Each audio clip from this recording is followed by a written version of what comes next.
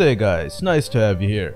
Today we'll have a featured gameplay and same as always, we will have this reviewed, discuss some tips, tricks, and strategies in order for you to improve how you play Mobile Legends. With that being said, I give my shoutouts to Blaze. Thank you so much for sending this gameplay. Great job playing as Argus, you are awesome. If you guys want to send in your gameplays, send me an email. Please note the videos are reviewed and not all submissions will be approved, especially if the following requirements are not met.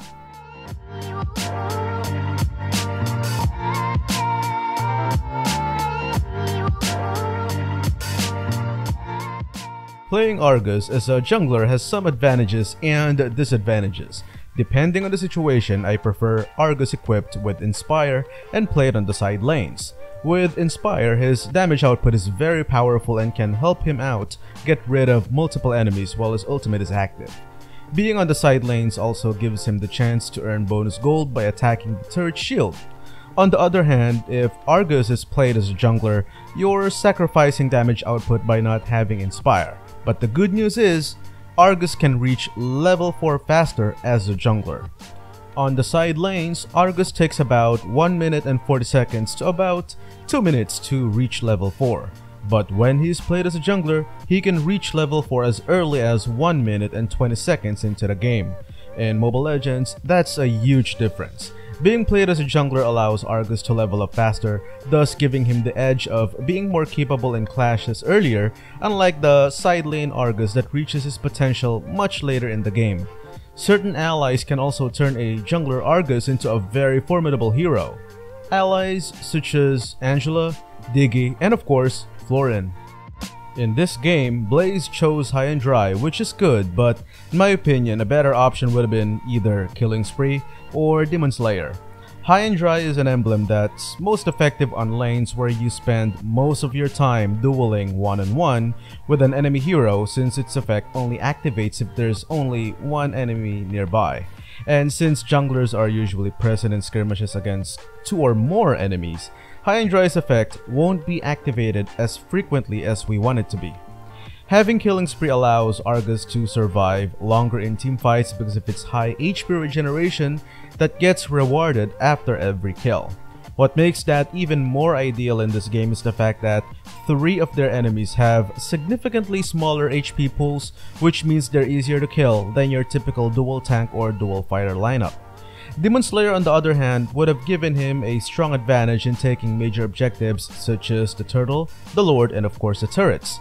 Not only that, Demon Slayer can decrease Retribution's cooldown by 6 seconds as long as points are allocated to that emblem talent.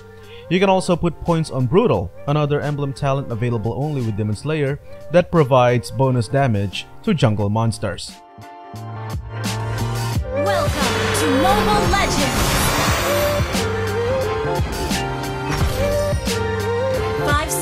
until the enemy reaches the! Excellent job for heading straight to the purple buff in order to take advantage of the Lithowanderer once it appears. Sadly, their roamer decided to leash Mia the moment the game began, which in my opinion was a bad idea. There's really no good reason for a roamer to leash the gold laner that early since the odds of them getting ganked at level 1 is pretty low. Ideally, the moment the game begins, the roamer should aid the mid laner in clearing the minions fast in order for them to prepare in taking the Lithowanderer. The Lithowanderer is a very underrated jungle creep, but taking it is important. Number 1. There's only one Lithowanderer in the entire map, which means whoever takes it gains an upper hand in experience and gold. Remember that this is a very fast-paced game and any gains no matter how small can still determine what the outcome will be. And number 2, the Lithowanderer becomes a Stone Roamer that provides vision to the team that kills the Lithowanderer. While it's true that the enemies can avoid it, in case a clash ensues around the Stone Roamer and your enemies are close to it, their locations will be revealed for a few seconds while they are escaping. And sometimes that's what'll help your team finish off an escaping enemy. Let's not forget that the hero that kills the Lithowanderer gets their movement speed boosted while going through the river. Once the Lithowanderer is taken down, that's the time the roamer can start leashing the marksman since ganks on either sides of the lanes are expected to come from there on out.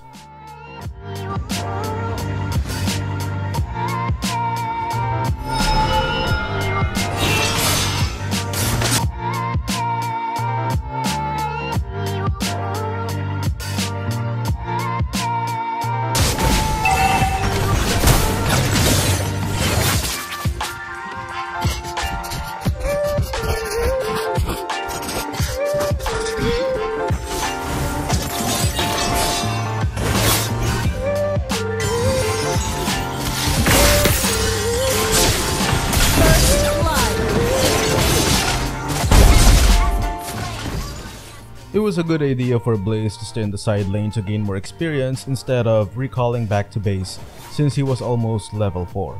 However, he played Argus with Retribution. I think he either forgot or miscalculated that rewards including XP gain from lane minions are reduced greatly for the first 5 minutes of the game when Retribution is equipped. It's not a very good start for their team, but always remember, sometimes what differentiates a great player from the good ones is how they can make up for their losses or mistakes. Stay tuned and watch how Blaze will recover from this game and carry the team to victory. Since Argus already had his ultimate, I think contesting the turtle would have been a better idea. But I guess the reason why Blaze was discouraged to do that was because his teammates were out of position. It was far too risky. When attacking with Argus, if his rage bar is full, I suggest launching one basic attack to trigger his enhanced attack. If you press his second skill fast enough, he will be able to hit his target with it before they escape or get outside of his range.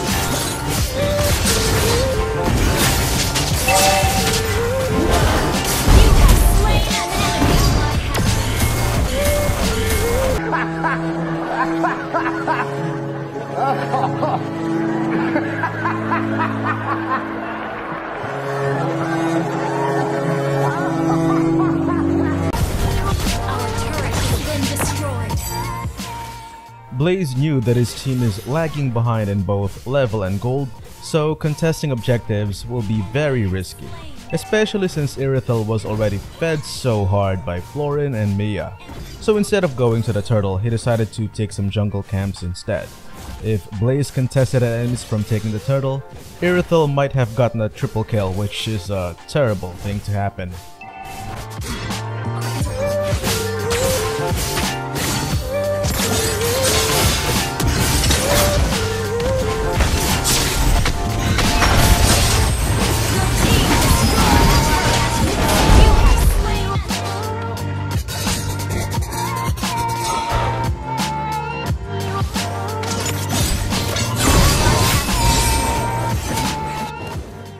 Blaze is doing an excellent job defending.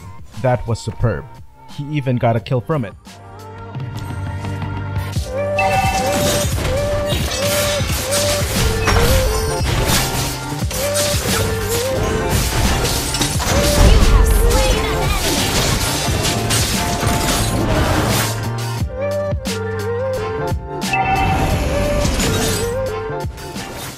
Outstanding lane pressure.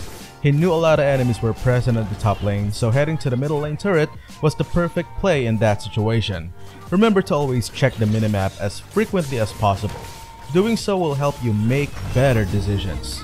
Mia also did a great job of reading the map which encouraged her to take the initiative in attacking the turtle. Things are going better for their team.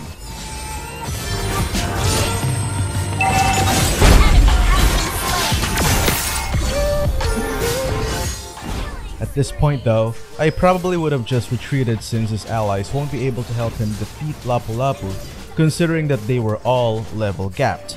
Lapu Lapu is exceptionally good in getting rid of multiple enemies because of his survivability and damage output, especially when they have such a huge gap in level. Blaze is on his way in getting all of his key items that will get them to victory.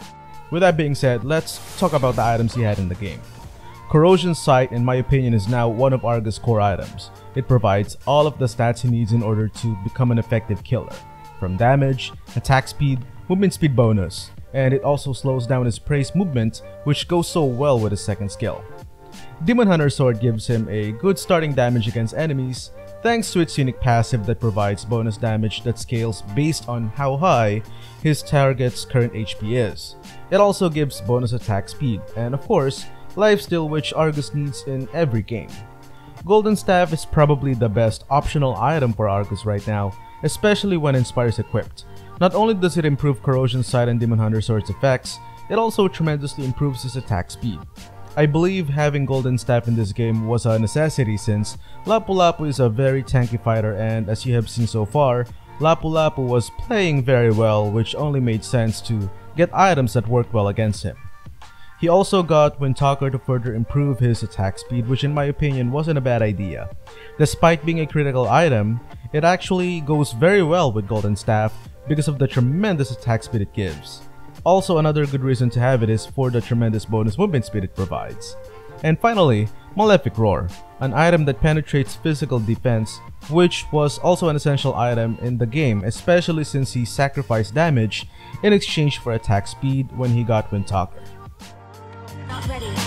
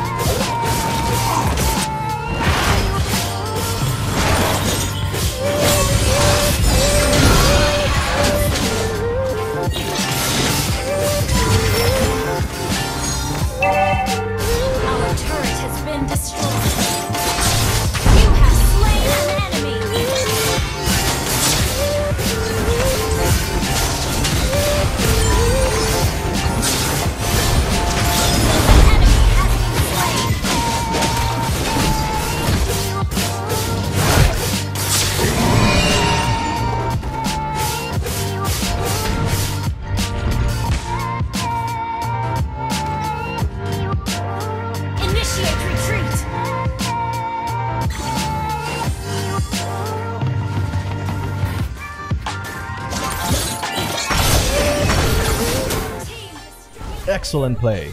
Blaze knows that Argus has a tremendous advantage over Aamon since he can prevent Aamon from utilizing his cloaking abilities effectively and he can also survive against his ultimate easily. That was a very aggressive and excellent play.